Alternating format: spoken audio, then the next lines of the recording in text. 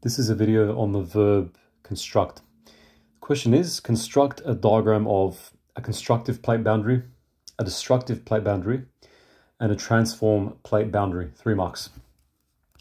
The verb construct, I'm sure you know what this means. It basically means make or build.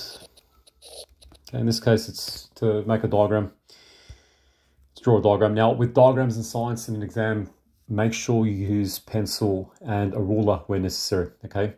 Unless otherwise specified, but typically a pencil. Uh, in this case, um, if I was marking, if I made a question like this, I would expect students to use a ruler.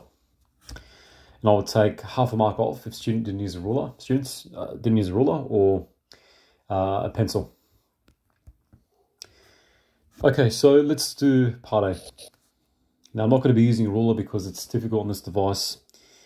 Um, but anyway, so constructive plate boundary. Constructive plate boundary means new crust is formed by definition.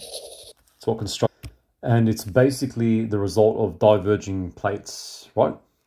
Because when you have two plates, so drawing two plates, two rectangles preferably, that are moving apart as such, you've got magma rising on the surface. Okay, that's a that's a constructive plate boundary um, because plates are diverging. So you can write diverging plates and label them.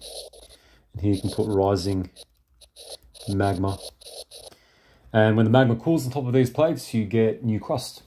Okay, hence new crust is constructed. It's called a constructive plate boundary. Okay, the boundary between these two plates that are diverging, moving away from each other. Let's do a destructive plate boundary now. This is the exact opposite. Destructive means crust is going to be destroyed. So this will be the opposite. So the opposite of diverging means is converging. So two plates moving together results in converging plates. They come together and you can draw snapshots in time. Plates look like that. Okay, with rubble, rubble here on um on each side. Okay, that rubble, is the result of two plates colliding, okay? In a collision, there's, there's debris. And you can put here debris from collision.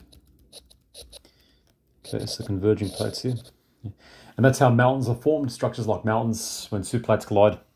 Okay, mountains like the Himalayas and the Alps.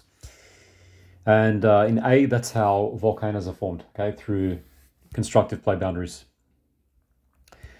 And C, like your last, transform plate boundary. So a transform boundary occurs when, I should say, apologies, a conservative plate boundary. A conservative plate boundary is due to transform, a trans, uh, transform, um, uh, transform plate movement, okay? When two plates slide past each other in opposite directions. Okay. So that's how earthquakes form. When they slide, you get uh, collision, you get friction build up and heat build up, and that gets released in the form of seismic waves, okay? Earthquakes. That's how energy is released. Suppose this plate's moving down, other plate's moving up. It's the result of transform movement, transform plate movement. It's called a conservative plate boundary because the word conserve means um, to save, okay? Nothing's being lost in this case.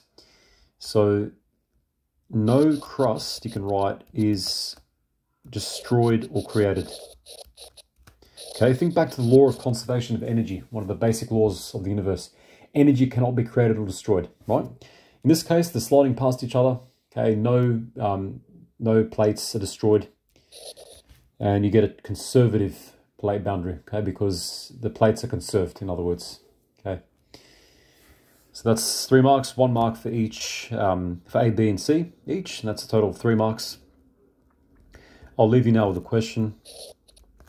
Construct diagrams showing how a volcano is formed. Three marks. So I would draw three snapshots, three diagrams, um, showing progressively how a volcano forms. Okay, so that's the verb construct.